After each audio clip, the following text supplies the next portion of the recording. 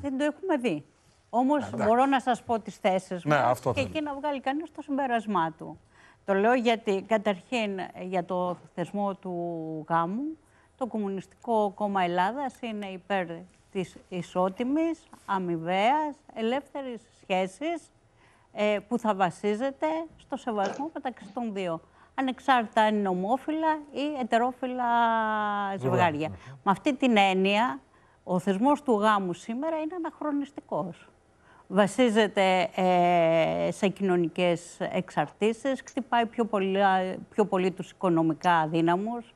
Ε, πόσα ζευγάρια σήμερα δεν μπορούν να παντρευτούν ή πόσες γυναίκες σήμερα δεν είναι μέσα σε τοξικούς γάμους γιατί έχουν ε, οικονομική εξάρτηση.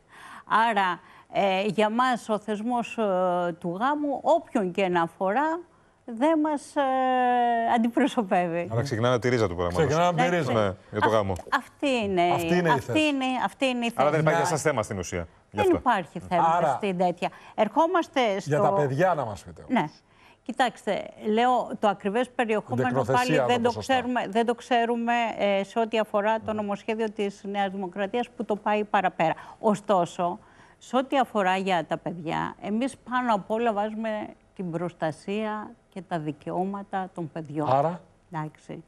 Αυτό τι σημαίνει; Σημαίνει ότι πρέπει να διασφαλίζονται αυτά τα δικαιώματα, δηλαδή η προστασία των παιδιών όπου και να βρίσκονται. Εντάξει, είτε είναι τσιγκανόπουλα, πώς να σας πω, είτε Ναι. είναι οπουδήποτε. Τώρα, σε ό,τι αφορά, τι μας προβληματίζει; Τι μας προβληματίζει; Το λέω και από πείρα και από άλλες χώρες και από ε, νομοθεσία της Ευρωπαϊκής Ένωσης. Μας προβληματίζει ότι ε, εξαφανίζεται η πατρότητα και η μητρότητα. Μιλάνε για γονέα 1, 2, 3, 4.